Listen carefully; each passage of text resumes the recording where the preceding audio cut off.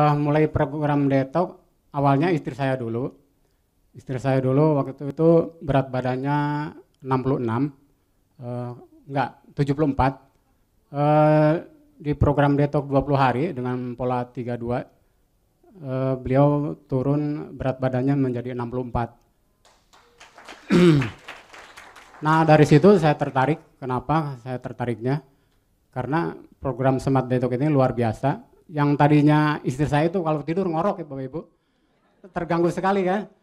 Eh, kadang-kadang uh, saya tepuk-tepuk itu ranjang itu supaya dia bangun, supaya tidak ngorok. Ternyata saat ini sampai sekarang tidak ngorok lagi Bapak Ibu.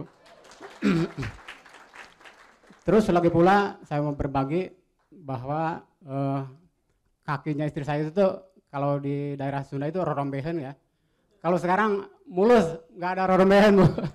Terima kasih Mbak Detok.